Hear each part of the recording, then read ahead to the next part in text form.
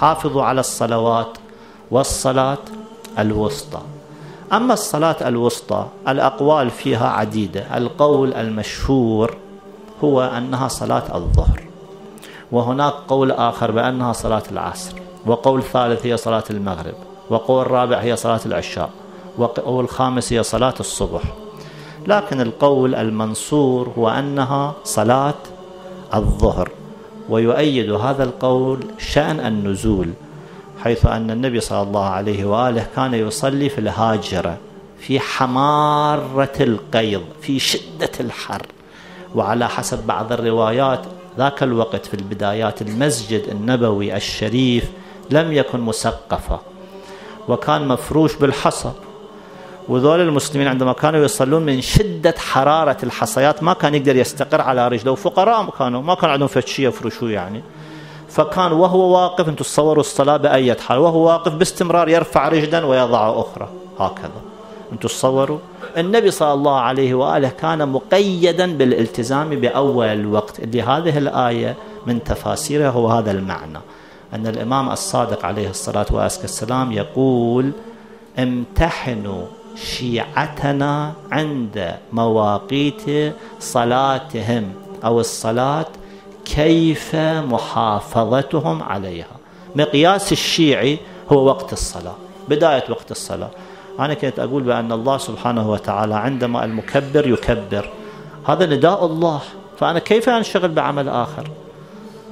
الله قاعد يناديني أنا أنشغل بعمل آخر؟ إذا انشغلت بعمل آخر فلا بركة فيه والتجربة تدل على ذلك. أنا شخصيا مجرب ولله الحمد في أحيان نادرة. أنا عموما ولله الحمد ملتزم بالصلاة أول الوقت. لكن أحيان نادرة جدا يحدث طارئ عاجل أضطر لاتصال تليفوني أو إجاء. الحاجة ما تمشي. مو مرة ومرتين يمكن عشر مرات. الحاجة تفشل. واليوم حدث اليوم بالذات وأنا كنت أفكر في هذه الآية أذن أذان الظهر. فواحد من المؤمنين صار له طارئ فخرج في حاجة. أنا قلت له حاجتك ما راح تمشي. ما دام أذن أنت قال هاي حاجة طارئة. على راح. راح ورجع بخفي حنين فاشل الله يقول أنا قاعد أدعوك. أنا أقول لا عندي شغل ضروري. امتحنوا شيعتنا عند مواقيت صلاتهم. كيف محافظتهم عليها؟ هذا كلام الإمام الصادق عليه الصلاة والسلام. كلام أمير المؤمنين عليه الصلاة والسلام أيضا كلام دقيق. يقول عليه الصلاة والسلام إن في تأخير في تأخير الصلاة لغير علة غضب الرب. عبارة جدا عن غضب الله. في الدنيا يأثر أن العمل ما ببركة ما راح يمشي. وفي الآخرة أنت حماية ما عندك لا سمح الله. إن ربما هذا كان نص الرواية. بس خلي أتأكد لكي نذكر لكم النص يكون أفضل. يقول أمير المؤمنين عليه الصلاة والسلام إن في تأخيرها من غير علة غضب الله.